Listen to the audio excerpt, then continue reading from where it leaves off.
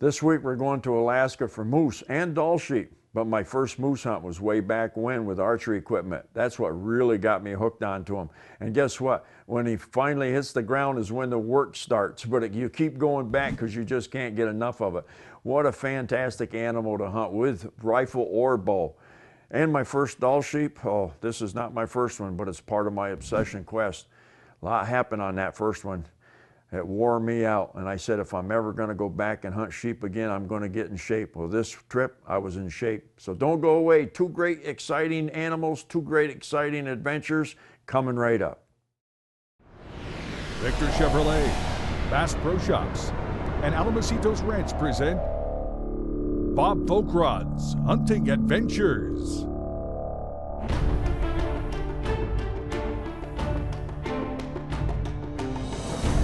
Seven continents, 80 species, a five year quest in the making. High adventure, dangerous game, real world training tips.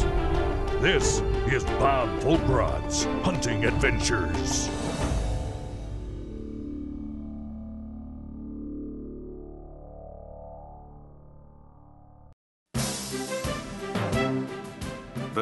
Sheep is a unique and beautiful trophy, found in unique and beautiful wild country, mostly the mountains of Alaska above treeline. It's tough, demanding country, but the sheep thrive here. State biologists report a population of close to 70,000. Dalls can survive on the sparse grass, dwarf willow, and lichen in the high country, and the open habitat makes it easy for them to evade most predators. Redhead Pro Hunter Bob Foulkrod has joined guide Charlie Culbertson and crew from Pioneer Outfitters to enjoy the splendor of the backcountry and to try to take a big ram. Just getting to sheep country is a challenge. First, it takes a bush plane flight, like those provided by 40 Mile Air out of Tok, Alaska. Then, it's off in a plane capable of short takeoffs and landings, the Super Cub, most often referred to as the taxi of the backcountry.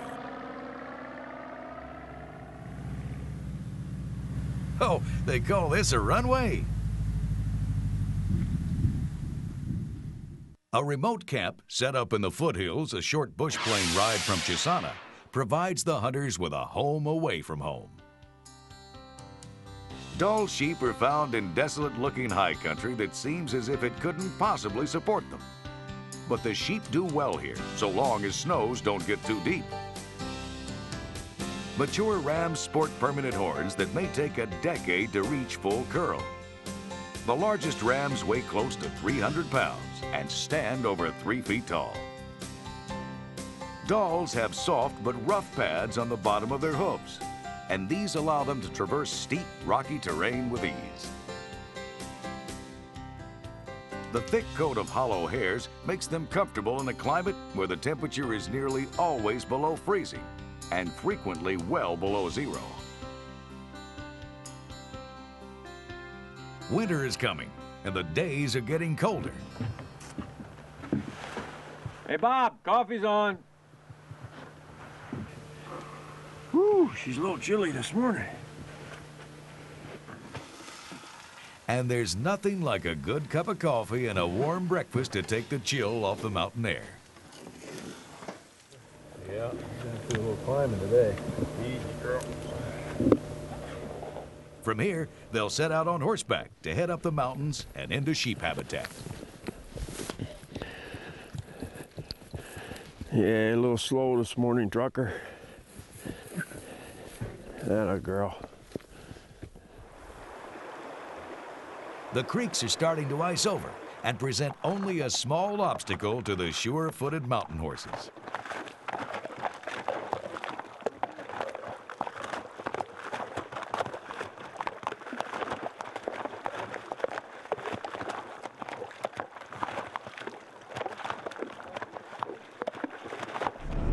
Bob Foulkrod's Hunting Adventures is brought to you by these fine sponsors Vortex and Buck Fever Synthetics. For the love of mud, gravel, and trail dust, For the love of farm roads, dirt roads, and no roads. For the love of hunting, fishing, and working the land. For the love of conservation, preservation, and restoration. Introducing Tracker off-road vehicles, designed and built on American soil for kicking up American soil. Tracker Off-Road, built for love of country. When we face adversity, we find a way through it. It's about taking care of each other. It's the small parts that make a big difference. At Chevy, we promise to do ours.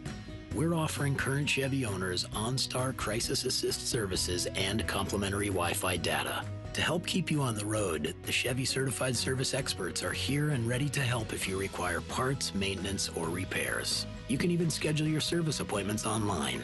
It's just our way of doing our part. After a short ride and a long walk uphill, they arrive at one of Charlie's favorite areas. All right, Bob. You sneak over the edge. Take a peek, see how far away they are. You guys just hang tight. Okay.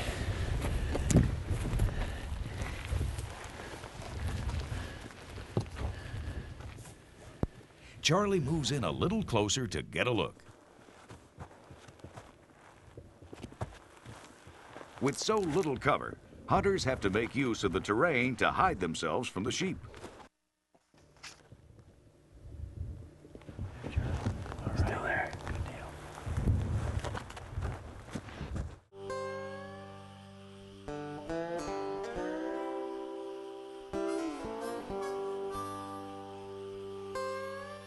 Dalls is the lone wild sheep in Alaska and is named after the scientific explorer William Healy Dall, who was making expeditions to Alaska when it was still Russian territory.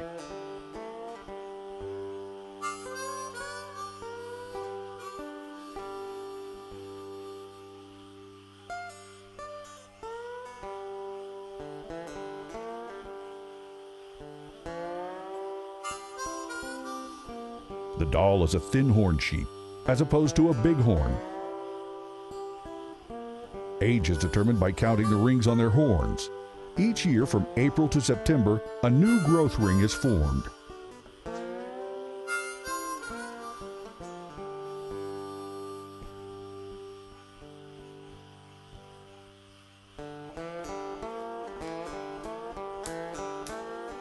Ewes carry horns also, but theirs are shorter and more slender than rams, which can sport over 40 inches of horn.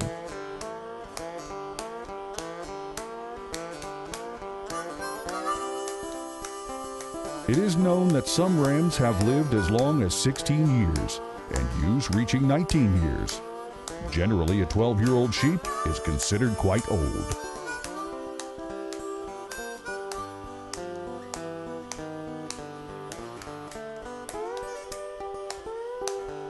Dalls are one of the four species of sheep native to North America. Besides Alaska, the Dall is found in the Northwest Territories, the Yukon, and a corner of British Columbia. Where the other sheep live farther south.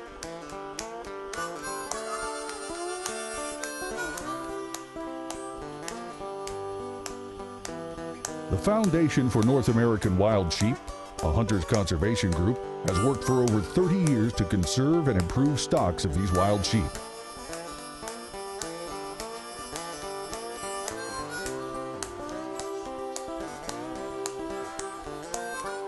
As a testament to their hard work, the group has raised millions of dollars for restocking, research, habitat improvement, and other management measures.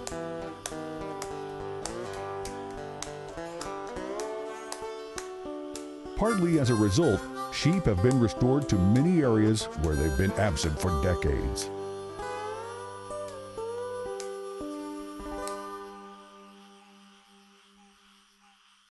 This week's Conservation Angle has been brought to you by Wild Sheep Foundation. Okay, looks like it's still about 600 yards. We gotta cut it down to about half that. Yep. Or a little better. Let's just keep working down through these rocks. There's another ledge down there we can get out to and maybe get a rest from. Okay.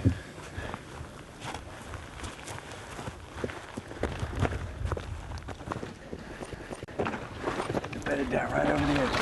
Okay.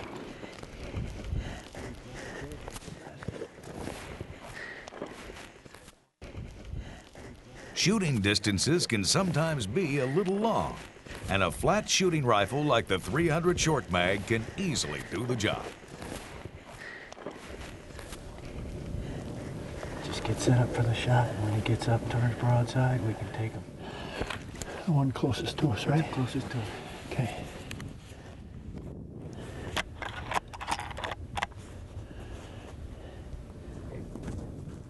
These sheep are certainly in no hurry to go anywhere or do anything.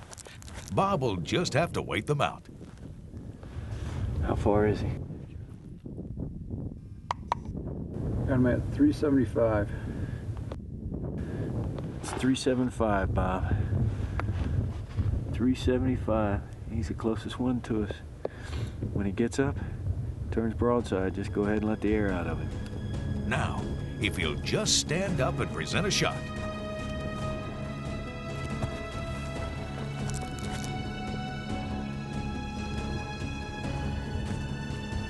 Bob is patient. Now, a deep breath to relax and ease the crosshairs on him.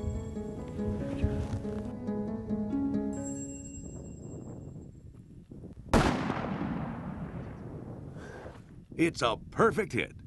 Good shot, Bob. Right. Oh, you poleaxed him. He's down. All He's right. down. Boy, look at all those rams go boiling out of there. Whew. I'll tell you what. I get that back in there, get that, keep that unloaded. How's it feel? Uh, That's your second Dall. that was excellent. I'll tell Great you what. shot. Great shot, Bob. What a stock. Yeah. Was that pretty down through there like that or what? Oh yeah, it was perfect. We came way up above them, up to one of my little honey holes. Oh. I told you. Come around, find them every time in here. Now it's all downhill to a fine looking sheep. Sorry this one took so long, Bob. Two days instead of one. This is a terrific sheep and one Bob can be proud of. Isn't that a hog? Oh man, that's a hog. He's got to be over 38 on that side. Huge. I bet he's 14 on the bases. That's a toad, Bob. That is a toad. Over there. That's your 61st sheep, isn't it? Yeah, and you're second. Yeah, my second. Thank you, Dan. Charlie, congratulations. Transportation for all of Bob Foulkrod's hunting adventures is provided by Victor Chevrolet. Check them out at victorchevrolet.com.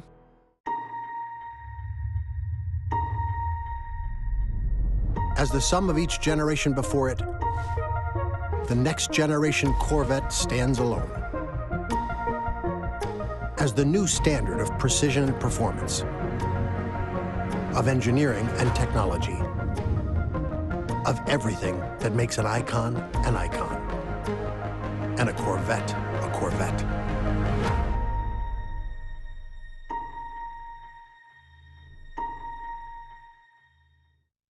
Although Bob completed his obsession quest taking over 80 animals with a rifle, his first love has always been bow hunting. He's teamed up with longtime friend and archery coach Mike Price to help make you a better bow shot.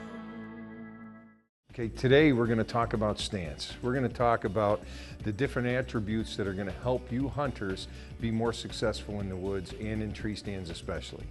So the first thing we're going to do is we need to know how to gauge how we're standing or how to set up the stance. And the way we're going to start is first we have to have a reference point to line up our stance or our feet too. If I have a line and I drew a line down from the bullseye to the floor, and drew a line all the way back to where the shooter's going to stand. When I was a kid, I was taught to stand so I was equal to the shooting line. So both toes are on the shooting line. If my heels, hips, and shoulders are aligned, because that's the most natural position as far as my stance.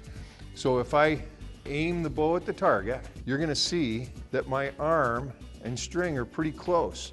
So if you put hunting clothes on me and I'm aiming at the middle of the target, I'm probably going to make contact, even with the new string stops. I'm still going to make contact, and contact isn't a good thing when you're shooting. It takes away from your accuracy. So if we set up and we're going to change our stance, the way we're going to change our stance is not to move one foot, because what I'm looking for is from your instep, which is right here, across your toe, is going to be on the line to the target. If I move one foot, I become tippy. I lose my solid base that my body is naturally standing on and is the most stable in. And I'm going to move my whole base. Both feet have to move. My back foot usually becomes parallel to the target, so I have an open stance. My heels, my hips, and my shoulders are in alignment. Now, I point my bow at the target with my heels, hips, and shoulders aligned. I've got a lot more room between my string and my forearm. The other thing that it's going to give me is clearance on my chest. Whether you're a lady or a hunting gentleman, again, we're going to be wearing clothes. We're going to be more bulky here, depending on the climate that you're going to be hunting in. And we're going to give you the best options for all climates. So if I pre-aim my bow and I come to full draw and my draw length is correct, my heels, hips, and shoulders are going to line up. I've got a ton of clearance. If I was to stand incorrectly, my chest moves closer to my strings, which is gonna make contact. I don't wanna make contact with the bow anywhere that I don't have to because it's gonna take away from your accuracy. The other point that we're gonna make when you shoot an open stance, especially for hunting circumstances, is you have more rotational mobility. You can make a shot all the way around the tree stand that you're facing. So I think my deer is gonna come from over here. So I'm gonna change my stance. My tree stand is now facing this way because I think my deer is gonna be over here. And the deer comes in, the deer comes in, gets behind a tree. I present the bow to my target and I come to full draw and he moves very quickly. I wanna be able to move over here without moving my stance and execute the shot. Rotational mobility with an open stance, you're a little shorter in draw length, but you're more compressed and it gives you the ability to not only shoot the deer over here, but all the way over here. And that should help you guys, especially in a tree stand, with your accuracy.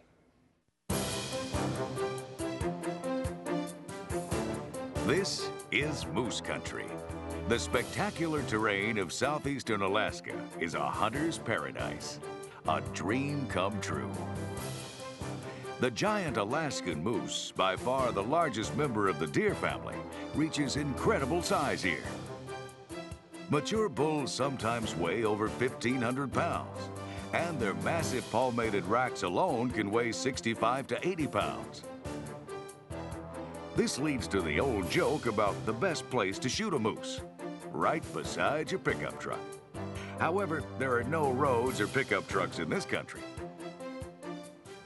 Redhead pro hunter Bob Foulkrod has traveled about 200 miles southeast of Fairbanks to come to Tok, Alaska, with a booming population of 935, to fly farther into the bush country with 40 Mile Air, one of Alaska's best known bush pilot operations.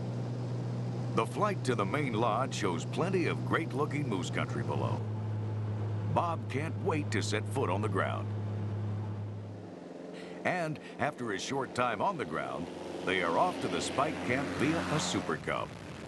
One of the best ways to get farther into the bush. These nimble little planes are very good at getting into tight spots. They can land in some very primitive and rough country. This will be home in the bush, smack in the middle of prime hunting country, and miles and miles from civilization. Just the right place to be. There's plenty of game close by. In fact, on the way to the cook tent on his first morning in camp, Bob has an interesting encounter with some of the local fauna. Oh, there's a caribou. The young caribou has obviously never seen a human before, but he knows that there's usually another caribou at the bottom of a rack like that. He just has to move in for a better look. Despite the cowbell serenade from the hobbled pack horses, he keeps coming closer yet. coming a little bit closer. Oh, oh, oh, oh, oh, oh, oh. But Oh. this weird dance is too much even for the most curious caribou.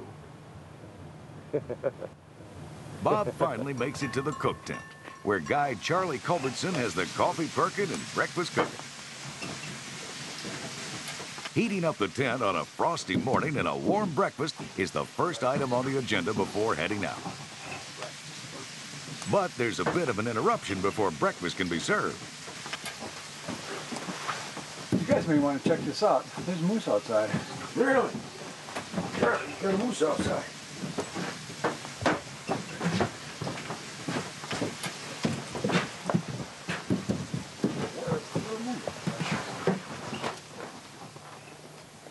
That's a little moose. It's a little guy. No, look at that big one over there. The big one over there. Oh, Oh, boy. Oh, that's a nice bull. He's wide, Charlie. Look at his palms. Yeah, that's a good moose. Let's get them horses saddled. Get out of here. Breakfast can wait. This segment has been brought to you by the Victor Chevrolet Deal of the Week. Check them out at victorchevrolet.com.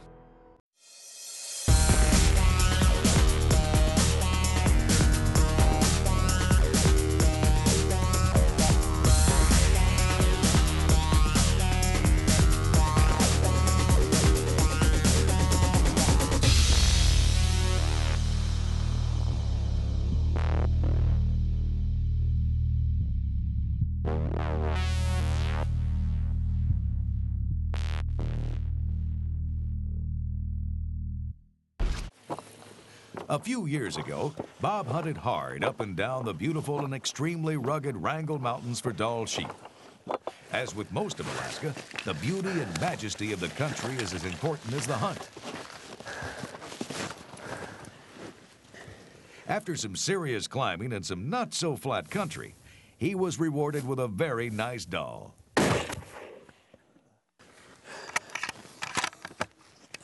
He's going down. Nice shot, oh, Bob. Nice shot. You just got yourself a fine Alaskan Dall sheep there, Bob. Because he enjoyed that hunt so much, he returned for another horseback Dall hunt and harvested another nice ram. Like hunters everywhere, when Bob finds a great place to hunt, he returns time after time to take advantage of that. Since many of the hunts use horses for transportation into the backcountry, they have their own special appeal to them. While on a previous moose hunt, Bob managed to fill a grizzly tag during a sudden and unexpected snowstorm in the ever changing Alaska weather. Oh, man. I'll tell you what, that's exciting. One thing you can count on with Alaska weather is the fact that you can't count on it. But it all adds to the stories and excitement you take home with you. Stories that last a lifetime.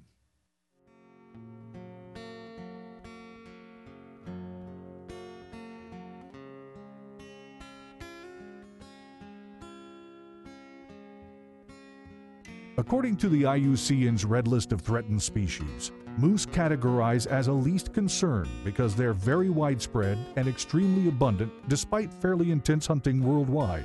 The 2014 Alaska Moose General Season Hunt Statistics reports hunter success rates ranked a mere 23%.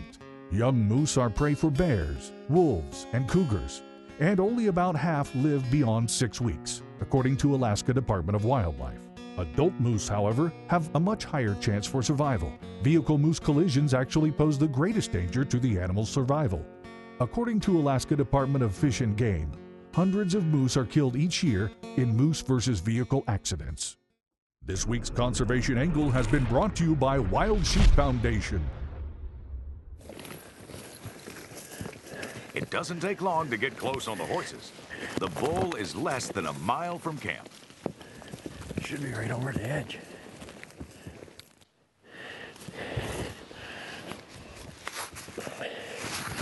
He should be just down over the ridge, Charlie.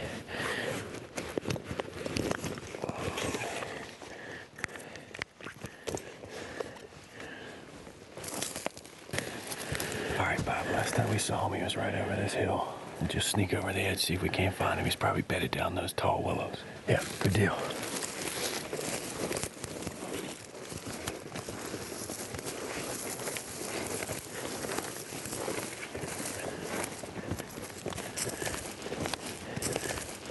Charlie, right there he is.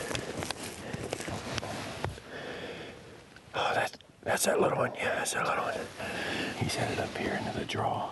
The big one must still be right over there. I can't imagine he's looking for a fight. No, he's just got to be over that edge right there. Yeah. Just over the edge. Yeah.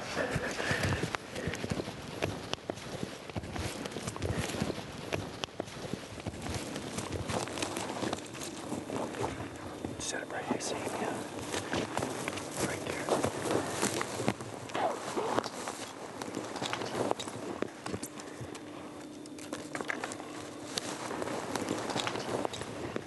This is a very good moose.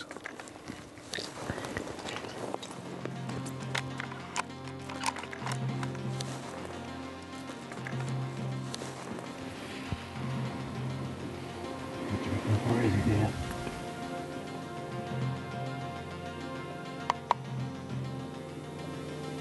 He's at 260. 260, Bob. When he's broadside, just aim dead on and let her eat. I'm on him.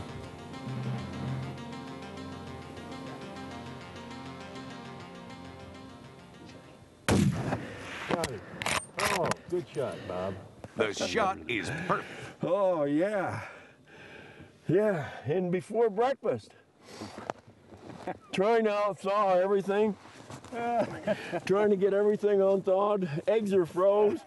Coffee water's froze up. I was in the middle of cooking potatoes and we saw that bull. Look at that. He looked out there and there were three cows on the hill, a little bull. Bob, you could have shot him a little closer to the tent. you know, that's only about three quarters of a mile from the tent. Breakfast is still on the table. It just doesn't get any better than that, huh, Dan? That's great. Good job. All right. Thank you, Charlie. Sorry you didn't get any breakfast yet, Bob. look at that. Whew. Let's go look at him. Oh man, that's a pretty moose.